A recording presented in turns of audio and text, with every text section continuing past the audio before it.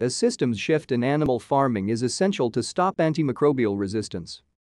Human health and well-being are intrinsically linked to animal health and welfare. The interconnectedness of both in a healthy environment is the key concept of the One Health policy approach that the European Union, EU, and many governments pursue. The use of antimicrobials is a classic example of this, with many being used for humans also used in farm animals, including the newest classes of drugs. Worldwide, 75% of antimicrobials sold annually are used in farming animals, with a total of 131,000 tons of antimicrobials given to them every year. Scientific evidence, including from studies by Van Middelaar and others, have shown that much of antimicrobial use in livestock is to cover problems that intensive farming systems create. This includes high stock density and limited space, which impairs early detection of sick animals, and use of poor quality animal feed, namely soybean and corn, which promotes rapid growth but is low in nutrients and often not adequate to the animal's health requirements. Furthermore, nearly all feed for growing animals is supplemented with antimicrobials in various doses to compensate the poor diet and conditions in which farm animals live. To stay up to date with latest top stories, make sure to subscribe to this YouTube channel by clicking the button above this video.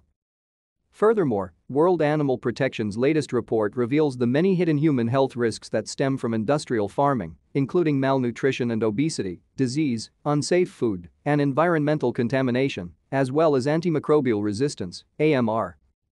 In addition, antimicrobial residuals have been found in rivers streams and other water sources located near factory farms, contaminating the environment.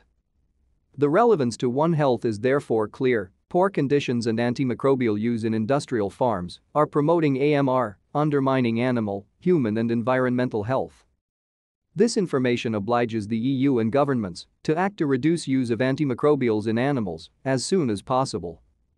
The EU's farm to fork strategy sets the target of having the sales of antimicrobials for farmed animals in aquaculture by 2030.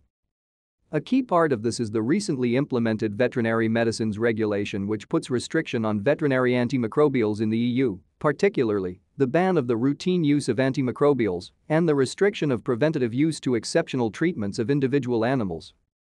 This is welcome, however, to truly stem this threat, Europe needs to set a path to move away from intensive livestock farming systems.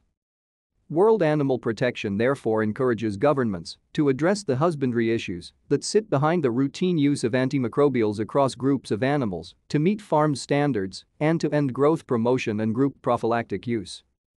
We envision a food system where animals are not exposed to environmental and physical stressors and antimicrobials are used individually for clinically diagnosed sick animals.